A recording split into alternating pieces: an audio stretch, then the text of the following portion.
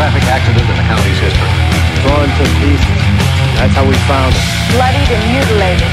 Was He taken to the hospital or the morgue? The scene is macabre. The screams of the maimed, the moans of the dying.